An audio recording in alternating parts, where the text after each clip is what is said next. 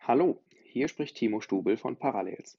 Heute möchte ich Ihnen ein Video zeigen, wie Sie Benutzer einladen, um auf Remote Application Server Umgebungen zuzugreifen und zeige Ihnen auch einen weiteren äh, Weg, wie Sie Endanwender über einen HTML5-Browser bewegen können, einen Client herunterzuladen und diesen auch automatisch vorzukonfigurieren.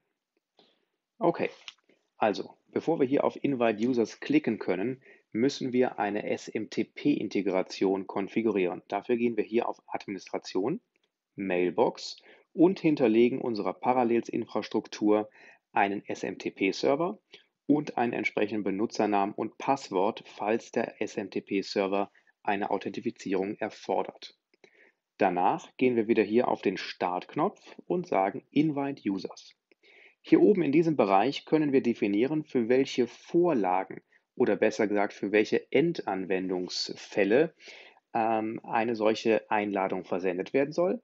Und hier unten in der Zeile können wir den öffentlichen DNS-Namen, also die Public IP, oder sollte es sich nur um einen internen Zugriff, also netzwerkintern handeln, kann man hier auf diesen Knopf drücken und er zeigt mir die RAS-Server-Adresse.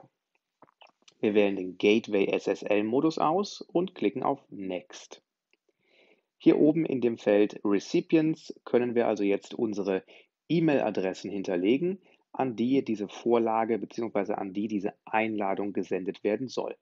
Ich packe hier mal die Adresse meines Kollegen rein und drücke auf Preview.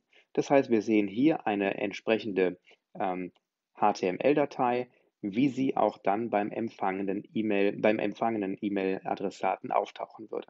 Wir klicken auf Next, warten einen Moment, es sollte relativ schnell sein. Äh, hier, okay, E-Mail wurde gesendet, Finish. Okay, das war die eine Sache.